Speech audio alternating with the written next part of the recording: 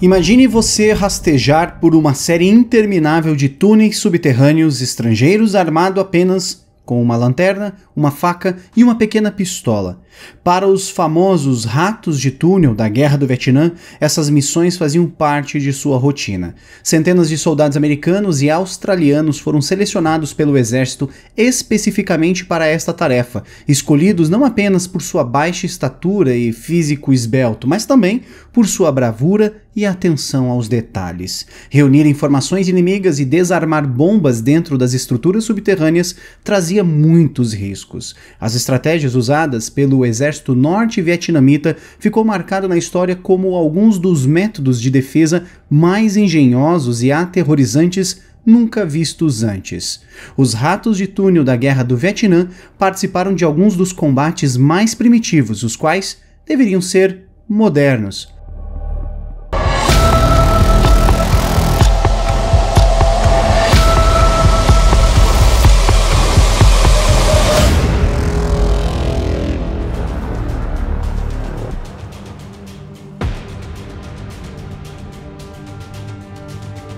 Enquanto os Estados Unidos tentavam perseguir o inimigo, os homens do Vietcong desapareciam em suas técnicas de camuflagem, desenvolvidas nas profundezas da selva. Era muito frequente que soldados americanos ficassem sob fogo inimigo em posições vulneráveis e sem possibilidade de contra-ataque devido à posição vietnamita. Ao vasculharem os locais onde sofriam as investidas, não havia sinal de ninguém. Os americanos simplesmente não conseguiam entender como os norte-vietnamitas conseguiam desaparecer sem deixar vestígios.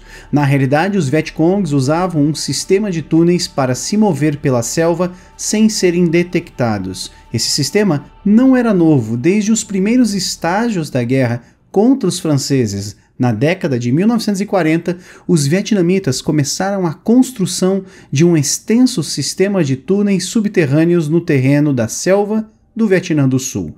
Os túneis foram ampliados e melhorados pelos Vietcongs para a guerra contra os americanos. Era tudo tão grande e complexo que na década de 1960 os túneis incluíam hospitais, depósitos e até quartéis generais do exército.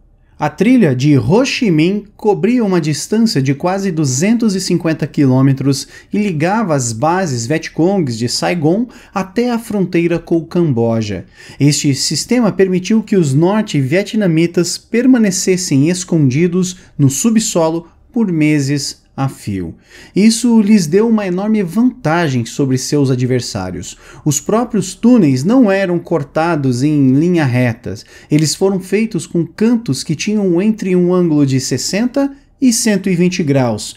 Isso significava que atirar em uma linha reta era inútil, assim como as bombas que eram desviadas facilmente. As entradas e saídas das trilhas eram tão bem escondidas que as tropas Vietcongs podiam realizar emboscadas e ataques surpresas sem nem serem vistos chegar perto, permitindo-os também que eles montassem suas infames armadilhas. Em janeiro de 1966, a centésima septuagésima terceira divisão aerotransportada conduziu a Operação Crimp em torno de uma área notoriamente defendida conhecida como Triângulo de Ferro. Durante a operação, as tropas americanas encontraram várias instalações, incluindo bunkers. Perplexos, eles chamaram engenheiros australianos que estavam trabalhando com a brigada aerotransportada. Ao começarem a minar o local, os soldados se depararam com uma porta oculta que levava a um túnel.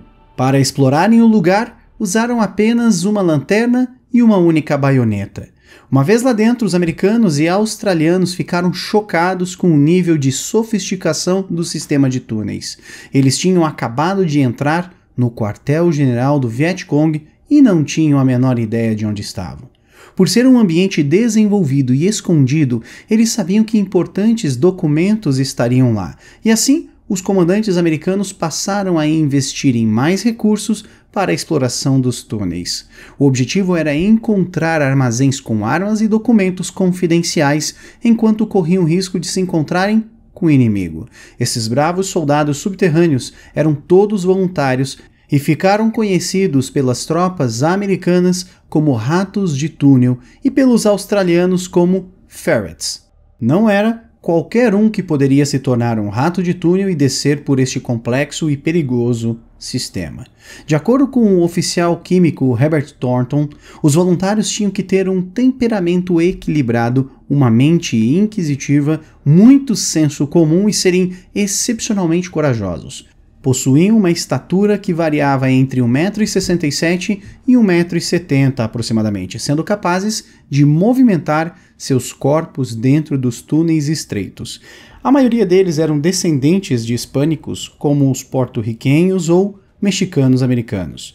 Esses homens eram equipados com pistolas M1911 padrão ou com um revólver M1917 e uma única baioneta, bem como uma lanterna e explosivos de demolição.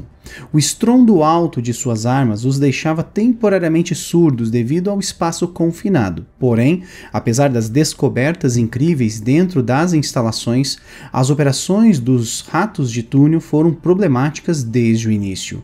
Um dos fatores que dificultou o acesso era que a detecção do túnel era desafiadora, já que suas entradas eram fortemente camufladas.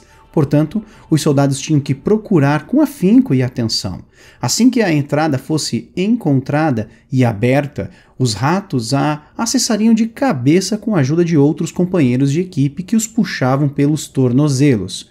Essa posição permitia que o soldado pegasse sua pistola em uma mão e a lanterna na outra. Assim que todos os membros da equipe estivessem dentro do túnel, o líder da equipe usaria sua baioneta para examinar a área em busca de minas e armadilhas. A taxa de baixas no túnel foi de cerca de 33%, um número muito alto mesmo para a Guerra do Vietnã, uma missão voluntária e muito arriscada.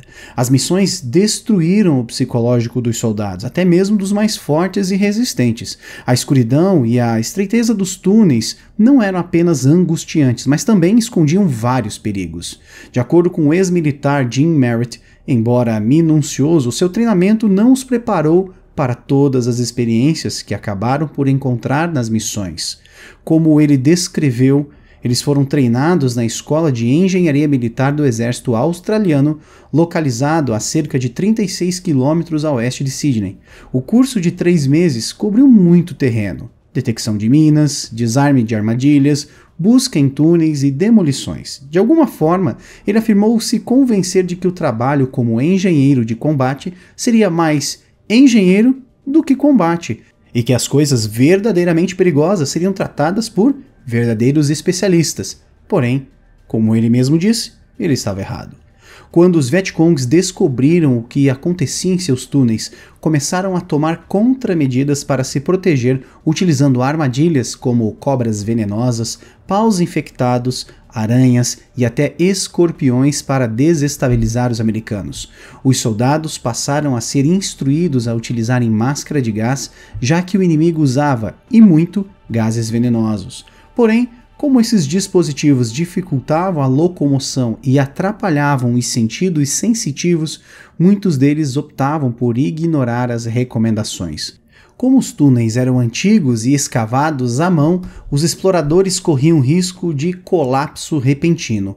Com todos os perigos que acompanhavam o trabalho, os homens precisavam manter um estado mental claro para não deixar que o medo os desestabilizasse por completo Informação conhecida pelos superiores. Operar em um ambiente confinado e escuro enquanto rastejavam-se por horas à procura de inimigos fortemente armados e furiosos faria com que qualquer um adoecesse. De acordo com o livro Tunnel Warfare, ocasionalmente, sob tensão, os nervos de um rato de túnel se corromperiam e ele seria arrastado para fora do túnel gritando e chorando. Uma vez que isso acontecesse, ele nunca mais poderia entrar lá novamente. Apenas os mais fortes foram capazes de continuar. Os perigos dessa ocupação subterrânea colocaram os voluntários em uma posição de respeito e alta reverência por parte dos companheiros de tropa.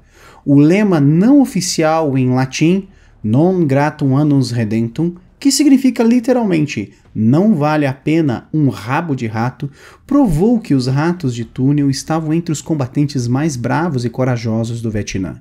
Quando eles próprios apreciaram a adrenalina que vinham com o trabalho, adoravam contar suas histórias corajosas para todos em sua base.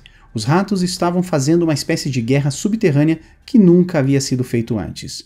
O procedimento nasceu por pura necessidade e foi incrivelmente bem sucedido.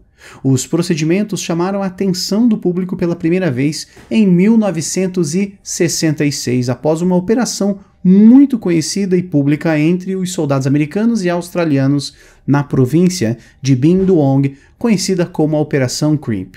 Nos anos seguintes ao fim da guerra, muitos dos ratos de túnel sofreram de lesões causadas devido à exposição aos produtos químicos dentro dos túneis. No final da década, mais de 4.800 desses túneis foram descobertos pelos Estados Unidos e suas forças aliadas. O exército dependia fortemente do conjunto de habilidades altamente especializado dos tais ratos. Sem eles, os americanos teriam sofrido mais baixas e obtidos menos sucesso na guerra. Embora se possa pensar que esse sistema de túneis era bastante rudimentar, no auge de seu uso, a rede dava aos Vietcongs uma sensação de segurança e poder sobre o inimigo, o que aumentava sua moral. Os túneis subterrâneos utilizados na Guerra do Vietnã são estudados até os dias de hoje, pois permitem entender muitas das surpresas estratégicas utilizadas naquele momento. Além disso, são utilizados também para exploração turística. Claro, para os corajosos que assim o desejarem. Isso porque os visitantes podem até rastejar por seções dos túneis utilizados por tropas vietnamitas e americanas naquele local durante a Guerra do Vietnã.